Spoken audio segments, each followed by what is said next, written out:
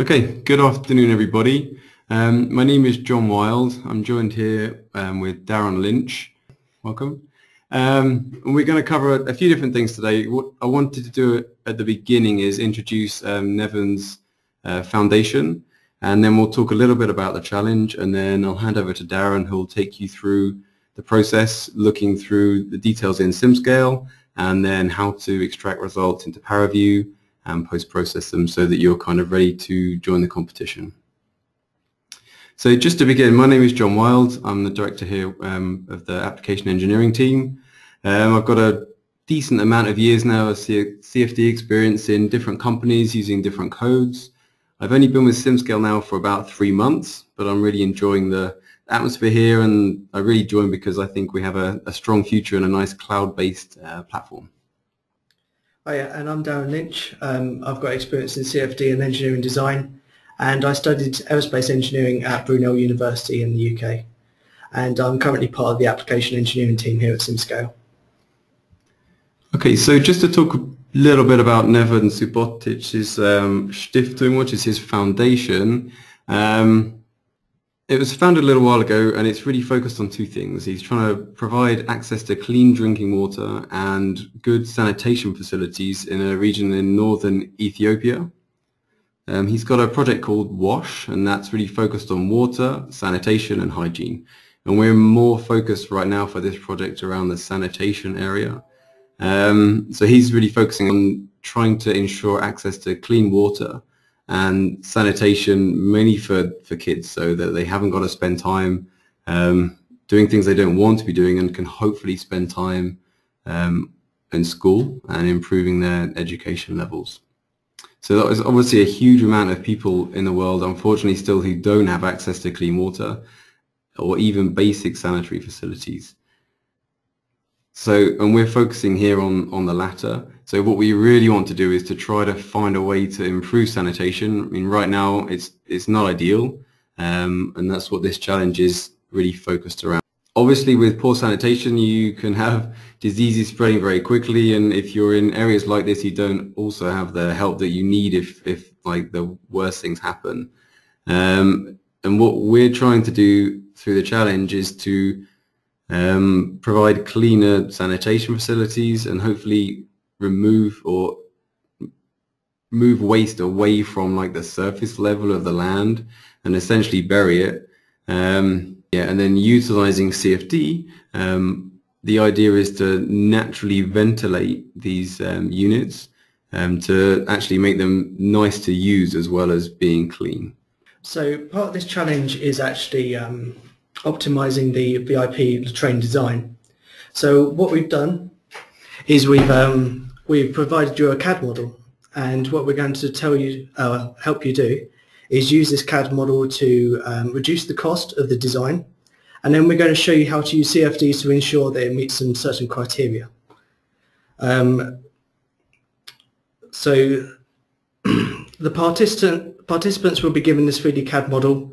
Um, we'll show you in the uh, the next demonstration actually how to get the costs and also um, we'll give you a step-by-step -step instructions on how to analyze it and then post-process it to understand the air exchange rate. Now the air exchange rate is um, is there to make sure that um, the flow goes into the latrine and out of the uh, the chimney and keeps the, um, the odors away from the occupants. Um, and this goes a huge way in actually um, making sure that they're safe. Sorry to put you on the spot, Darren, but what is it we're seeing in this image exactly? Uh, so what you're seeing here is the, on the surface plot, you're seeing the pressure leading up to the VIP latrine. Um, you're seeing streamlines of the velocity going into the, uh, the vent hole, and you're seeing it going down the drop hole, recirculating and coming back up through the chimney. Thanks. So now I'm going to hop over to the CAD model um, and we'll be giving you all these links after the webinar. So this is the CAD model that you're going to be presented with. Um, we have got two scenarios. We've got an inline design, which um, basically means that we have four cubicles all in a line. And we have an alternate design where we have four cubicles, two and two, in a symmetrical layout. as presented here. Now the idea of this is to gain an understanding of what variables um, reduce the cost of this design and then import it into SimScale to ensure that um, to ensure that the the results are sufficient. So in the variable creator, we've got a list of variables.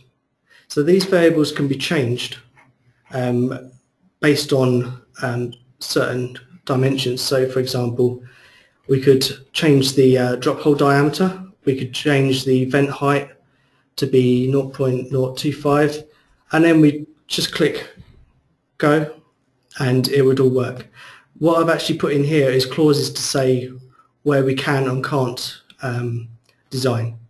So here I've put a clause in to say that you've got to be in between 0.5 and 1.5. So we, we enter a value to satisfy that. And it goes clear and we can go OK. And what that does is it regenerates our design based on those variables.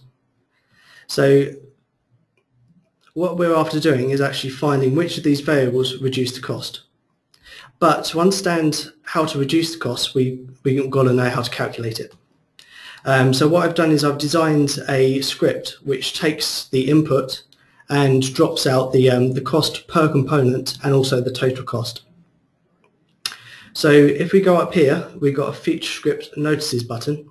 If you click that, then you'll get a nice readout into um, what costs are involved, um, how much each total cost is going to be for each component.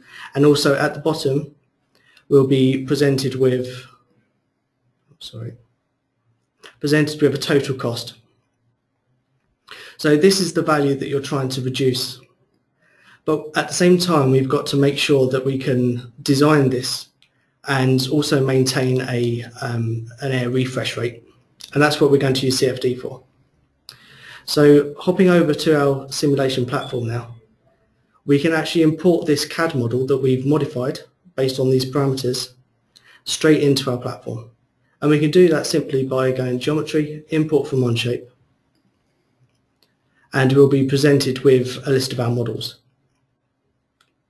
This, um, this simulation will be also provided to you in the link, um, so you can copy it and all you'll be doing is reapplying the setup to your geometry. So once you've selected one of these models and imported it in as a geometry, you can then create a mesh. So this is an example of a, uh, of a geometry that I've imported. And what I'm going to do now is um, continue on to mesh. And all we'll be doing is reapplying um, reapplying these uh, refinements to the geometry as instructed by the step-by-step -step tutorial. Um, and those will also be provided to you.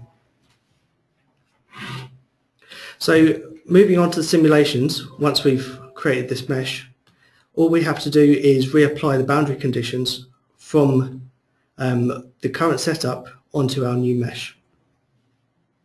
And this can be simply done by duplicating a simulation because you don't want to get rid of the example. And from that duplicate, we can select our new design. And once that occurs, all we have to do then is reapply the boundary conditions. And the boundary conditions are as simple as an inlet, um, an inlet direction, an outlet boundaries will be applied as no slip.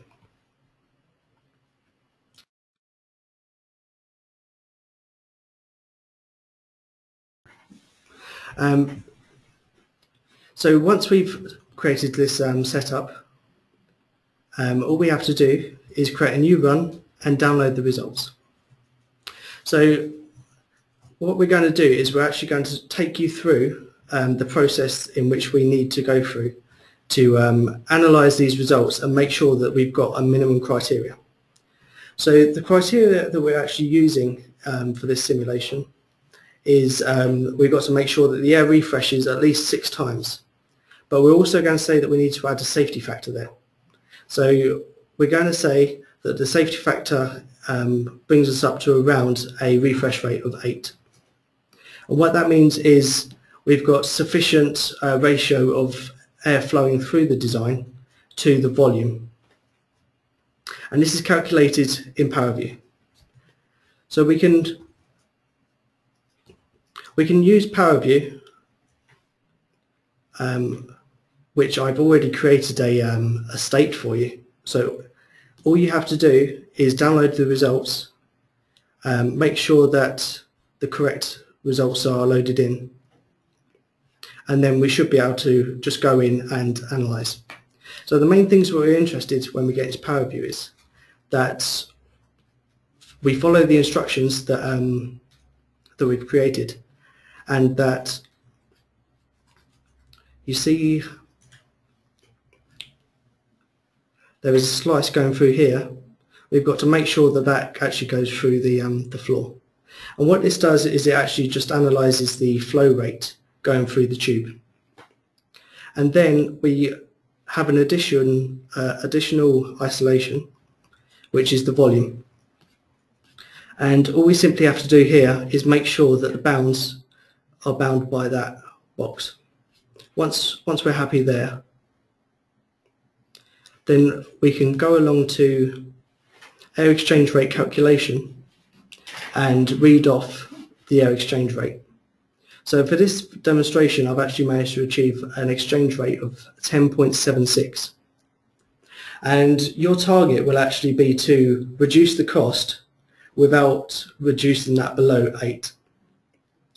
Um, Can I ask a question? Of course you can. Is that, what does that mean exactly as an air exchange rate? So the amount of time that the air in total is exchanged per like minute or hour or? Yeah, so it's, it's a it's kind of a ratio. So it's the, the flow rate going into the design versus the, um, the volume of the design. Mm-hmm. So uh, the higher the exchange rate, the more circulations we've got. Um, the lower, then we've got a, um, a ventilation problem. Mhm.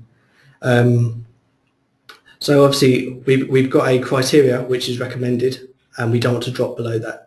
Okay, that's where the eight came from. Yeah, the eight came from, yeah. So I think in the papers um, it's actually recommended six, but we want to keep it at eight just to make sure that we don't fall below and no errors induced. So once we've done all this calculation, we'll need to make sure that we repeat the process for different wind directions. Because the objective here is to make sure that the, the refresh rate of 8 is actually um, is maintained for different directions. Um, for the symmetric design, we're only interested in two directions, and that's coming in from the north and the west. And that is because we can actually consider the design as symmetric in two planes. However, for the inline design, we're actually going to ask you to do this three times because um, the coming from the flow coming from the back isn't going to be the same as the flow coming from the front. Um, and a valid design to submit to the challenge would then therefore be to make sure that your exchange rate is above 8 for all wind directions and you believe that you have a, a low scoring um, cost. But bearing in mind the cost function is the cost itself. So we are going to provide to you, and I will show you that now, actually. If there's any questions at this stage, actually, it would be a good idea to ask them. Um, so if, if anyone's got any questions, just type them away. And I'll be more than happy to revisit any any stage. Alternatively, um, there is there will be a section here for the um, in the forums, so you can write any question in that section, and then we'll get back to you. So I think then I'm just going to run through the, uh, the the process from beginning to end to make sure that it's really honed in. Um, so what we what we're going to do is we're going to go with the geometry. We're going to create any modifications that we we would like based upon these parameters. So we have parameters such as hole drop diameter, vent hole diameter, uh, vent height, um, roof angle, pit depth, And these are all parameters that we feel might have an effect on the flow overall. That's not to say that you can't change the design further, but you should um, you should also consider um, privacy in your design. So you can't, for example, put a big a big hole in the door if it's going to um, if it's not going to be private still. And then once we've generated that design, we're going to pull the cost. And this cost can be found um, at the bottom of the the current um, the current window, and it's under the main costs. And what you'll actually be doing is submitting a cost, a value for each of the wind directions, and also links to these projects. So you will be required to link the um, the CAD document, and you'll also be required to uh, to link the simulation document. So this just makes sure that um, you know nothing was misset up. For example, the cost calculation was done here, and that is based on these selections. So we'll be checking to make sure that none of these have been modified in the calculation. Then what we'll require you to do is move that over to the platform, import it, reassign the refinements and mesh. We'll then need you to simulate each direction and that will be two directions for the symmetry case or three directions for the inline case. And simply assigning, um, assigning the boundary conditions to this mesh um, will be all that's required to continue into the next run. And then you'll need to download each result. That is done simply by clicking on a clicking on a run and downloading. And then using the uh, the guide provided, we'll then ask you to open ParaView with the correct result set and then analyze for the air change rate and this will need to be above 8 for each um, scenario, that is each wind direction. And then, once submitted, we'll, um, before the deadline, then we'll, um, we'll analyse all the designs and see which is the best. And also hopefully get some interesting outside insights into um, what sort of design changes actually affect this the uh, most significantly. Okay, thanks. Any other thoughts or Anything else you want to share before you wrap up? Um, so back to the uh, the geometry, I suppose. Um, it would be interesting to us to see um, if there is any simple fixes um, in terms of increasing the air change rate, even though we're not explicitly after this in the competition. It would be of interest if you could um, do something simple to um, increase the air change rate.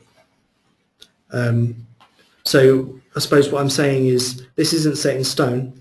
Although this is this is all that's required of you. If you do have more understanding of the CAD and you have some um, some ideas into how to significantly improve this design, then we'd be very willing to hear from you and would love to see these design solutions.